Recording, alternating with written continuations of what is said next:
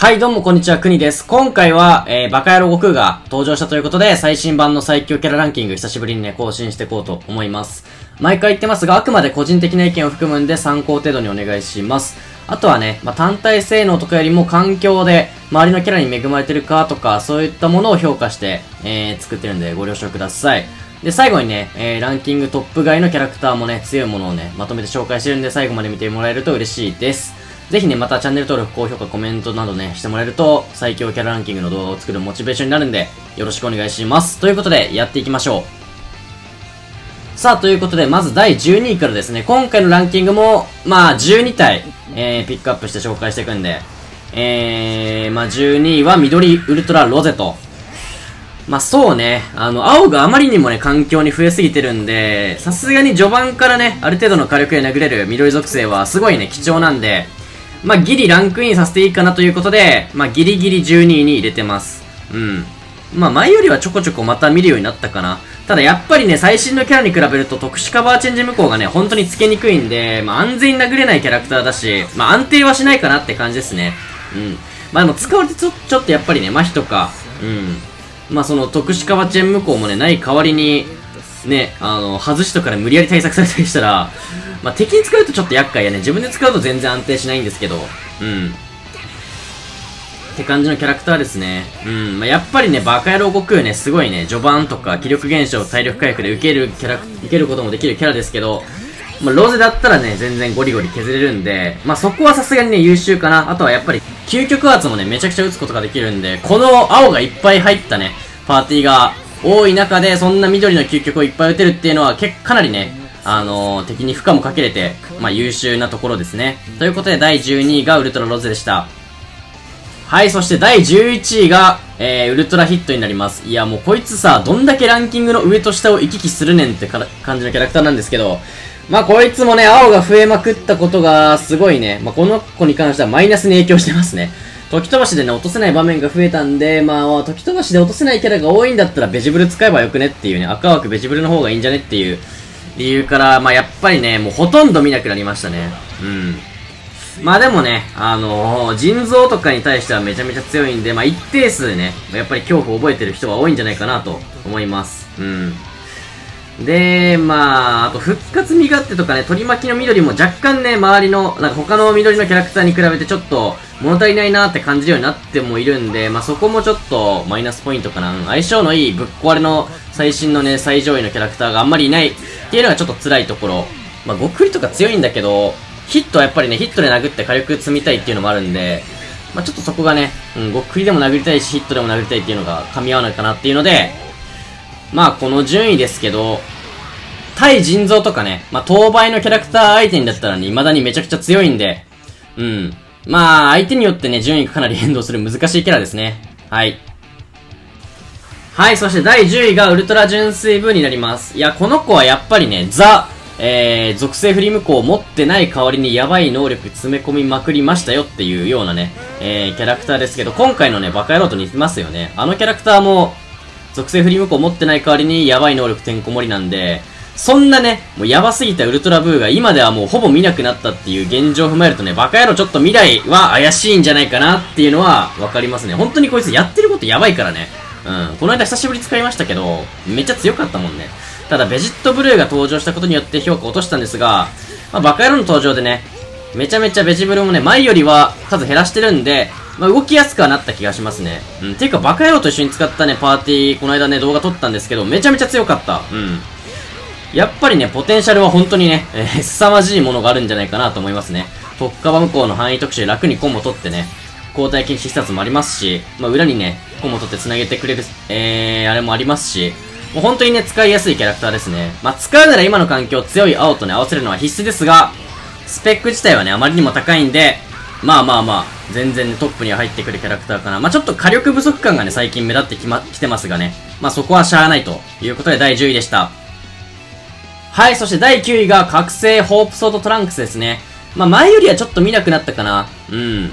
5周年の期間中はやっぱり極振り未来っていうパーティーがめちゃくちゃいたんですけど、今はそっちよりも、ベジブル代表とかの方が増えてて、やっぱり青枠17号がね、多く使われてるイメージなんで、まあ、順位下げて9位と。まあでもね、17号と違って究極のバカ火力、瞬間火力がね、一気に出せたりとか、うん、もあるんで、まあこいつは全然ね、まだ強いと思いますね。うん。ただやっぱりこいつって極利未来以外のパーティーでそこまで使えないっていうのが、うーん、まあ何点かな。合体にもたまに入ってるけどね、結局17号の方がね、ライジング牽制しやすいんで、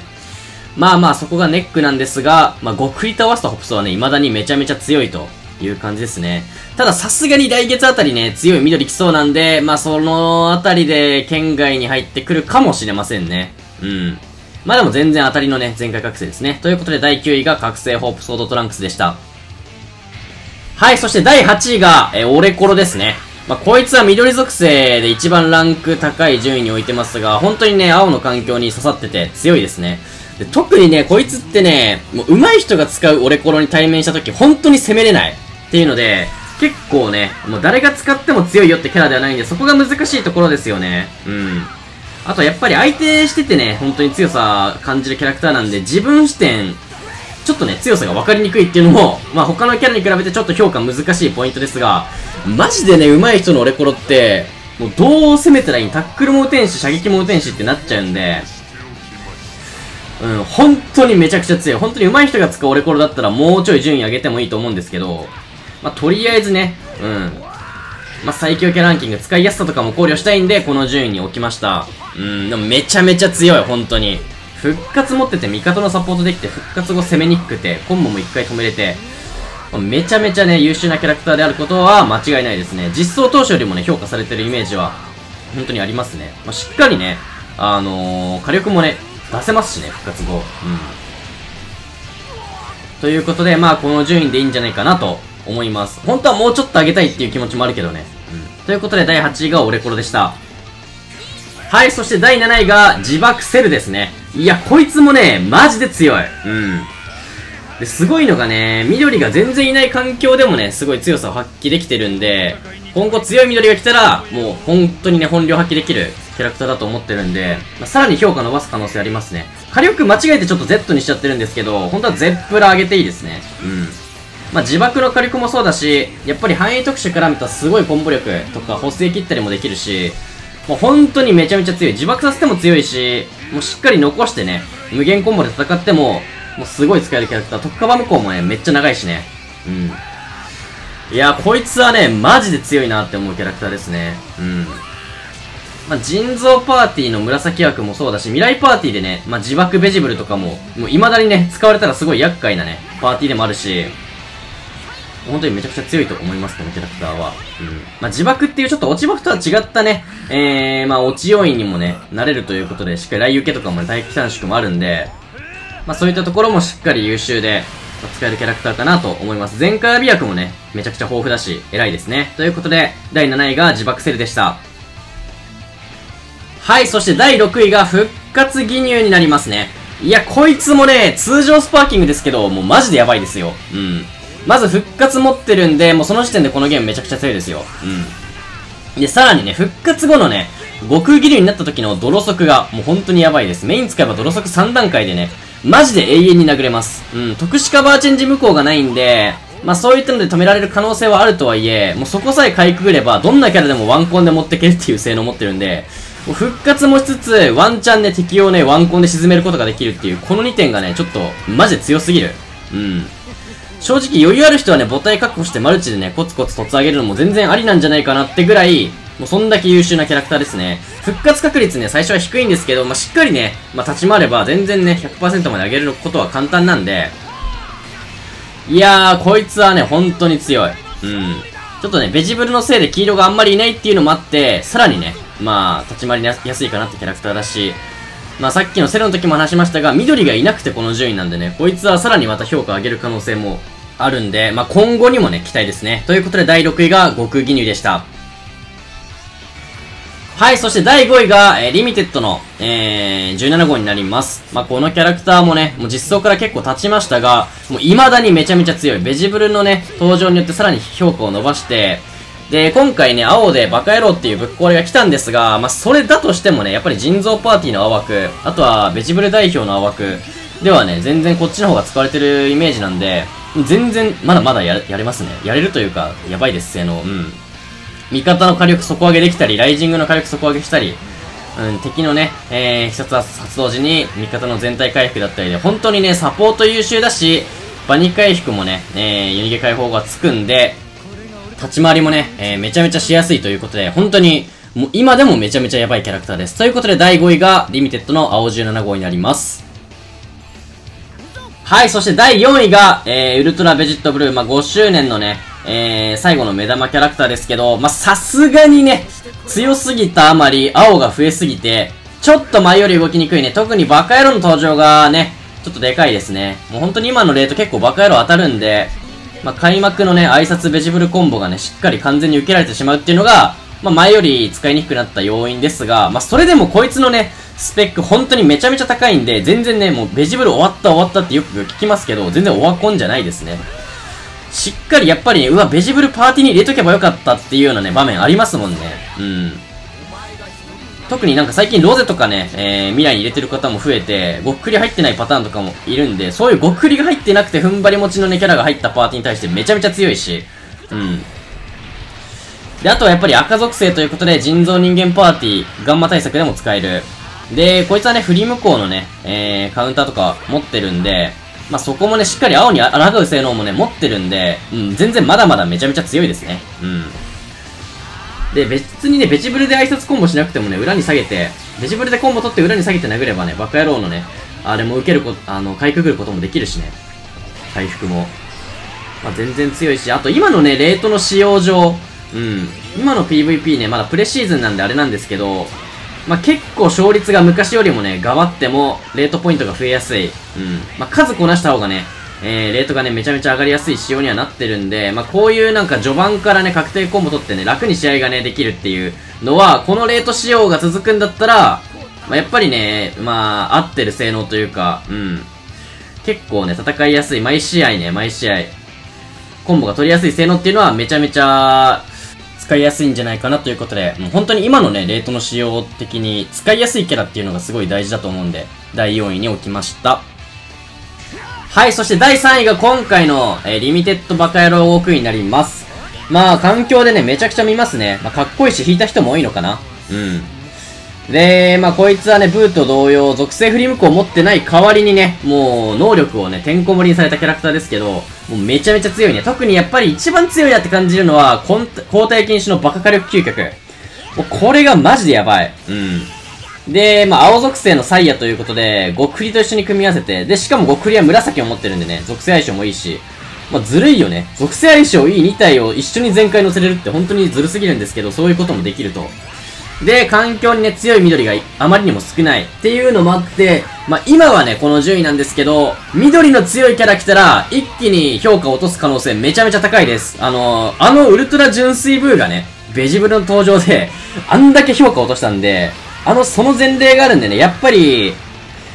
緑がいない今だからこそこのトップ晴れてるだけで、もう強い緑が一気に環境に増えたら、もうそれこそ別にバカ野郎じゃなくてね、もう青枠、こう、栗でよくね、紫青で戦えるしっていうような感じになって、別にバカ野郎をね、パーティーに入れなくても戦えるっていうことになりかねないんで、ちょっと怖いね、そこが。うん。まあでも現状のね、現環境では全然3位。まあ人によっては全然2位とか、まあ1位に置きたいっていう人も全然いるんじゃないかな。あの、1位はさすがにあのキャラだな、俺は、絶対。うん。ということで第3位がバカ野郎悟空でした。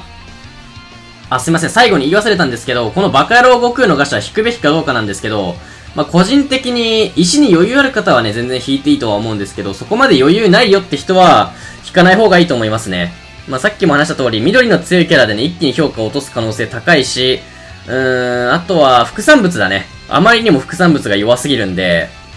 まあそういったのも踏まえるとそこまでね、石に余裕がない課金できない美課金の方とかは、まあ回さなくていいんじゃないかなと僕は思ってます。あくまで PVP 頑張りたいよっていう人視点のあれなんですけど、あと現環境も別にね、バカ野郎必須ってわけじゃないじゃないですか。全然極振りだけでもね、ベジブリに対抗できるんで、まあそういったのも踏まえるとね、必須キャラではないんで、まあここで石を使うべきじゃないんじゃないかなと僕は思いました。ということで第3位がバカ野郎でした。はい、そして第2位がガンマコンビになりますね。いや、本当にバカ野郎の登場でね、ベジブルがね、ちょっと減ったの、プラスね、青と紫を主体にしたパーティーが増えたんで、まあ、黄色のぶっ壊れのこいつはね、めちゃめちゃ評価高くなったんじゃないかなと思います。本当にね、めちゃめちゃ強いです。人造人間パーティー。特に上手い人が使う人造は崩せないです。うん。で、あとは完全にもうヒットが消えたね。もうマジで見なくないですか？本当に見たとしても、1週間に1、2回当たるかぐらいな気がするんで、もうそういったね、ヒットの事故もね、かなり少なくなったということで、ガンマは、まあこの順位でいいんじゃないかな。うん、腎臓周りも強化されてるしね。ただ、すごい強いし安定感あるキャラクターなのは間違いないんですけど、あの、現状のレートのプレシーズンの使用が、まあ、試行回数をね、かなり重ねて、まあ、さっさと試合終わらせた方がレートがね、えー、増えやすい仕様になってるんですが、ガンマコンビ使った腎臓って、結局試合がね、フォアブレイカーとかもあるんで長くなるんですよ。っていうので、新仕様のレートに、ちょっと向いてない。そこがちょっとなんか難しいよね。安定して、勝つことはできるんだけど、試合がちょっと遅いんで、レート盛るのはちょっと、うん。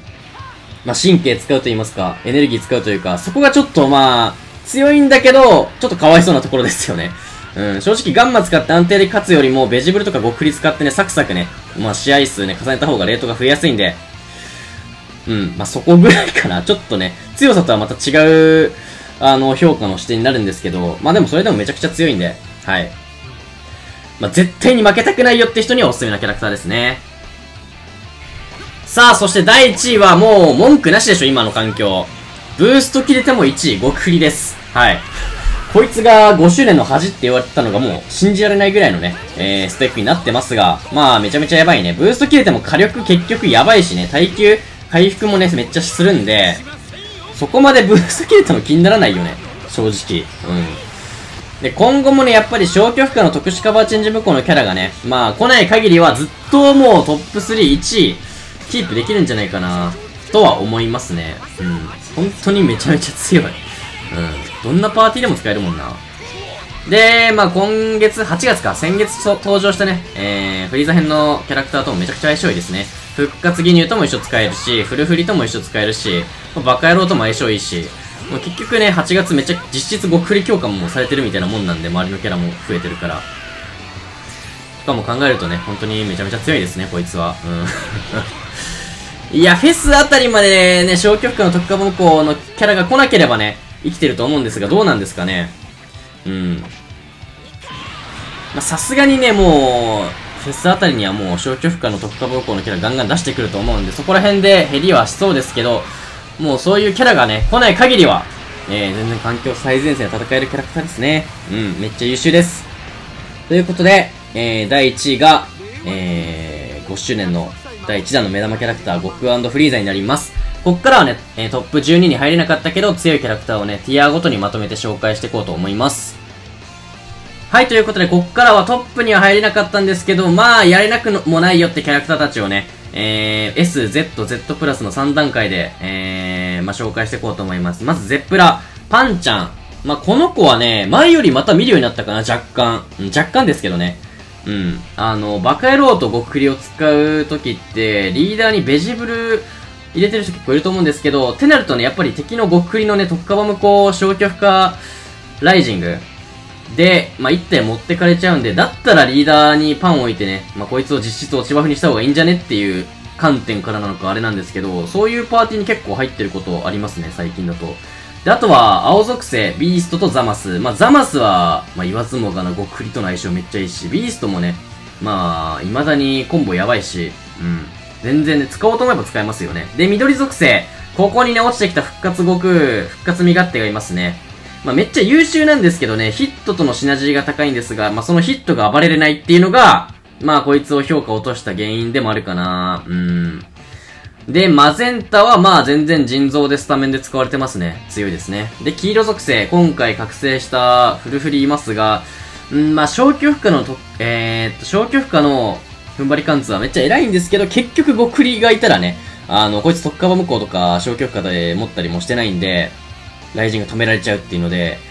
まあ、そこさえちょっとね、一瞬でもついてくれればすごい強かったんですけどね、特殊圧で3カウント消去負荷特化向こうとかついたらめっちゃ強かったんですけど、結局ごっくりにライジング止められちゃうんで、まあ、そこがネックかなうん。で、ジレン。まあ、こいつもちょこちょこは見ますよね、ジレン系譜未だに。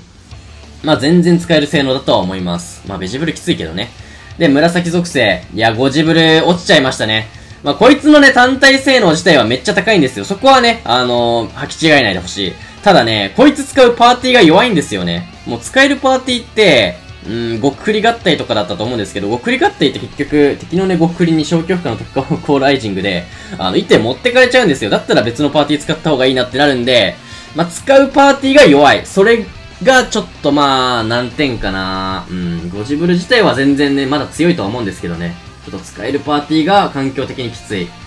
で、Z。まあ、ちょっとここら辺からね、うーん、まあ、弱いと思うキャラクターもいますが、まあ、G スバータ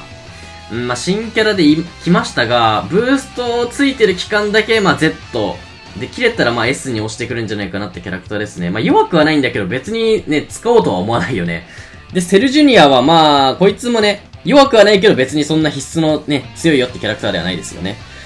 うん、あ、えー、青も多いしね。で、青属性が青バダ入れてますね。まあ、青バダはやっぱバカ野郎と使われることがちょっとね、増えて、まあ見るような、見るようにはなったキャラクターですけど、まあ、ぶっ壊れてはないもんね、結局。うん。まあちょっと楽しい火力出るってぐらいのキャラクターなんで、まあ、この Z でまあいいんじゃないかなって感じですね。で、パンちゃん。こいつはね、まあまあ、ちょっと見るようになりましたね。っていうのも、ごっくりとバカ野郎に両方全開乗せれてね、一応、えー、来行き用にもなるということで、まあ、全開乗せつつ、えー、バトルメンバーでも戦える性能っていうので、まあ、たまにリーダー枠とかで見るようになりましたね。まあまあまあ、使えなくはない性能。で、テンさんね、まあ、普通に強いです、こいつ。正直、ゼップラに置いてもいいぐらい強いんですけど、まあ、一応 Z に置きましたね。うん。で、復活フリーザは、まあ、言わずもがな極フリとの相性が最強と。で、緑が極ベジ4。まあ、単体性能自体は高いんですけど、周りのキャラに恵まれてなさすぎるキャラですよね。もう本当に GT が強化されたらね、また、ゼップラとか、環境ではめちゃくちゃ見るようになると思うんですが、まあちょっと惜しいですね。で、20倍海洋圏もまあ面白いぐらいの性能ですよね。キャウェイも、まあ強、弱くはないんですけどね、まあ見なくなりましたね、全然。で、黄色属性、トラベジ、まあまあまあ。で、ユニフォルもらったキフリはね、普通に刺さる相手にはめっちゃ強いと思います。で、イベゴク、まあ、ブーストこ、ブーストとボーナスか、込みで Z に置いてますね。一応入れるだけでね、バトルメンバーに置いとくだけでもらえるポイントが増えるんで、今のレートの仕様にはめちゃくちゃね、えー、合ってるキャラクターだとは思います。で、紫は、えー、兆し、まあ、たまに外国人が使ってるイメージ。うん。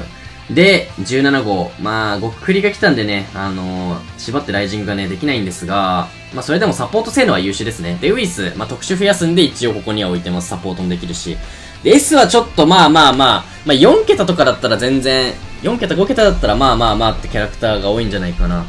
こはもうちょっとかいつまんで紹介していくか。え、メガネご飯はマジで何しに来たんや、お前。で、青属性、うーんと、Z コンビは何しに来たんや。で、緑属性、緑ご飯は何しに来たんやっていう、まあそんなね、今年の三大恥キャラクターたちですけど、まあまあまあ まあまあまあまあ。で、黄色属性も、まあ、こんなキャラたちですけど、ちょっとさすがに片落ちか否めない。まあ、亀仙人が若干 Z に置いてもいいかなって思ったぐらいかな。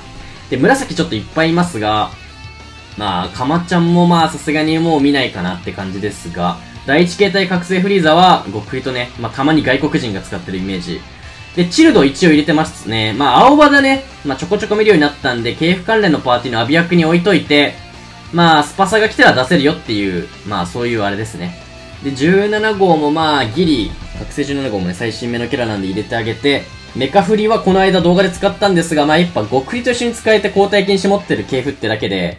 まあ、さすがに使えなくはないかなって思ったんで S に分けました。で、新キャラの、えー、ご飯クリリンですね。まあ、このキャラクターもまあ使ったんですが、まあまあ強くはないですよ。ただまあ、ギリギリね、ブースト乗ってたら、まあ使えなくはないかなってぐらいなんで S に置いてます。って感じかな。はい。えー、ぜひね、えー、参考になった方とかはチャンネル登録、高評価、コメントしていただけるとまた作るモチベーションになるんでよろしくお願いします。ということで、お疲れ様でした。